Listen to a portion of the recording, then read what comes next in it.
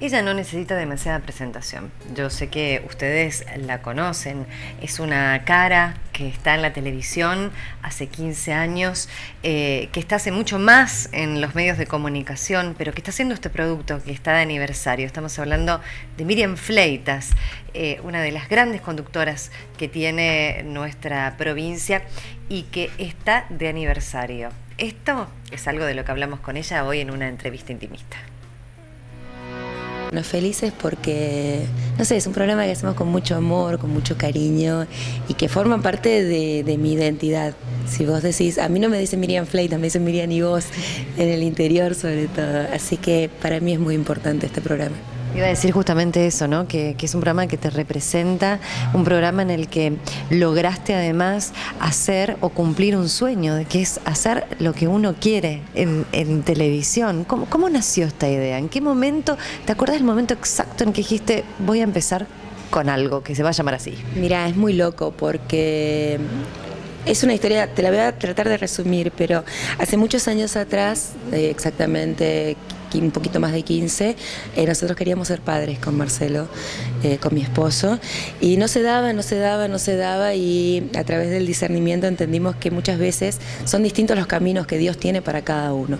Cuando llegué a entender, cuando dije, bueno, decime qué querés que haga, así fue mi, planteo y en una de esas, si a vos te está pasando lo mismo, te podés sentir identificada. Eh, me aparece en esa semana la propuesta de hacer un programa. Nosotros teníamos en carpeta una producción, un sueño de tener un programa que sea, que tenga turismo, que tenga cultura, que tenga llegada a la gente, pero no tenía nombre.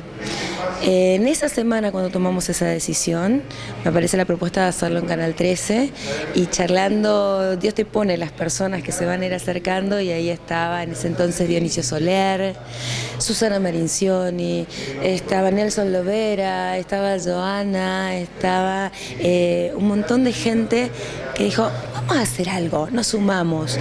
¿Y qué nombre le ponemos? Y yo ni me imaginaba, por ese, en ese tiempo no me imaginaba que ese, programa iba a llevar mi nombre. Y fue a idea de todos, sugerencia de todos, no, vamos a ponerle tu nombre.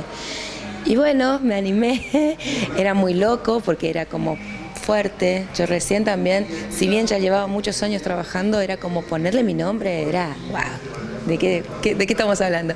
Bueno, le hice caso a Dionisio, como muchas cosas, y así nació Miriam y vos.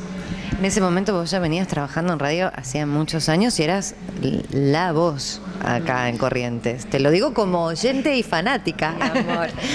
Sí, hacía, hice digital, hice eh, total. Eh, la radio es un amor mío. Que, que, yo sé que no me voy a volver a encontrar, viste que los amores vuelven cada tanto. Yo sé que en algún momento voy a volver a hacer radio. No es este, estoy segura. Van a pasar algunos años más, creo, pero, pero voy a volver a la radio. Sí, la radio para mí es, es mi primer amor. En estos 15 años pasaron muchas cosas, pasaron muchos personajes, pero uno siempre tiene como esa foto Kodak de ese momento que quedó grabado en la memoria para siempre. ¿Cuál es la tuya? Cuando nos llevaba todo un día y toda una semana poder llegar a un programa de una hora de Miriam y vos cuando lo hacíamos en vivo. Era muchísimo esfuerzo, pero todo se transformaba cuando... Porque ah, comencé con bailarines, discúlpame. Ah, no. No, no, Te juro que tengo, tengo algunas imágenes de eso y que te, las puedo pasar. Y eh, entraban los chicos bailando y, para mí era, cuando yo decía el hola, hola, hola, hola, hola, que me salía del corazón, esa es mi instantánea. Ese momento no me lo olvido más. Hola, hola, hola, buenas tardes, bienvenidos. Hola, hola, hola, hola, hola, hola, hola, ¿qué tal? Hola, hola, ¿qué tal? ¿Cómo están? Hola, hola, hola, ¿qué tal? Hola, hola, ¿qué tal? ¿Cómo están? ¿Cómo te ves de acá a 15 años más? Ay, con un montón de arrugas más, porque me voy a dejar las arrugas. no, a ver, me gustaría seguir trabajando, me gustaría envejecer dignamente, porque también es un tema ese para las mujeres, Juli, y para todas las chicas que me están viendo también lo deben entender de esa manera. pero me gustaría seguir trabajando y entregando esto que es mi compromiso. Yo lo siento como una parte de mi misión. Si yo puedo dar algo desde lo que me toca hacer, yo soy feliz. Entonces haré radio, haré tele, haré conducciones, seguiré con Miriam y vos porque es una producción propia y esa es la ventaja de poder autofinanciarse. Entonces vamos a seguir con Miriam y vos, señora, seguro, sea donde Dios me mande pero tengo muchísimos planes, muchas cosas que quiero lograr, que quiero hacer y que quiero compartir. Me parece, yo tengo muy en claro una cosa.